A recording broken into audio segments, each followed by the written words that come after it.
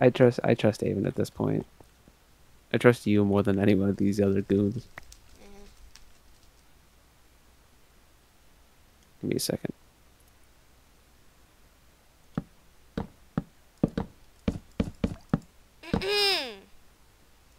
I'm tossing you these things. Oh yeah, those things. Yes, your shafts.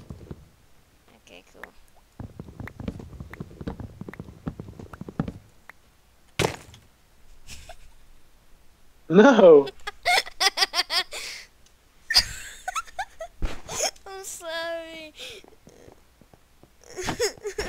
Aven, you do realize you just made me lose 28 levels. Uh,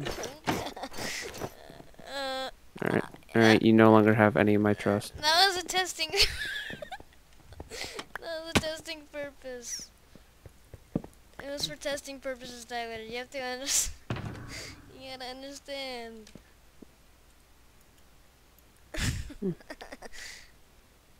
I didn't know I did that much damage.